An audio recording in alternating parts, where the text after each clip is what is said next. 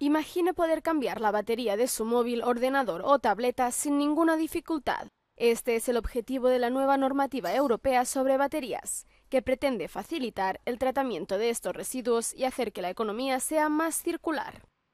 En 2027 los usuarios finales tendrán que poder retirar y sustituir las baterías que incorporan estos aparatos. En ocasiones los fabricantes utilizan varios trucos para hacerlo más complicado. À chaque fois qu'on enlève une batterie, euh, on chauffe un peu l'arrière pour que ceci devienne un peu plus euh, euh, flexible pour ne pas arracher d'autres composants en, en, enlevant la batterie. Vous voyez par exemple ici, en faisant ça, la caméra se détache. Donc ça, il faut faire attention. C'est des des petits pièges comme ça qu'il faut éviter.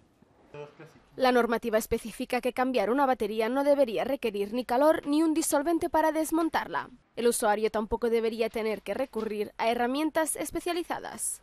Certaines marques, par exemple, inventent des, des tournevis et des formes de tournevis pour pour qu'on puisse pas réparer, mais c'est pas très malin parce que un nuevo tournevis est, est. Pero los fabricantes podrán seguir utilizando componentes más pequeños para dificultar las reparaciones de la batería.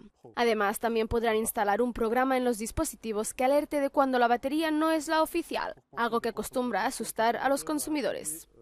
El objetivo de esta normativa es facilitar la reparación, la recogida y el reciclado. Se espera que el 63% de las baterías portátiles lleguen a un punto de recogida de aquí a 2027. Cada año se tiran a la basura más de 150 millones de teléfonos inteligentes.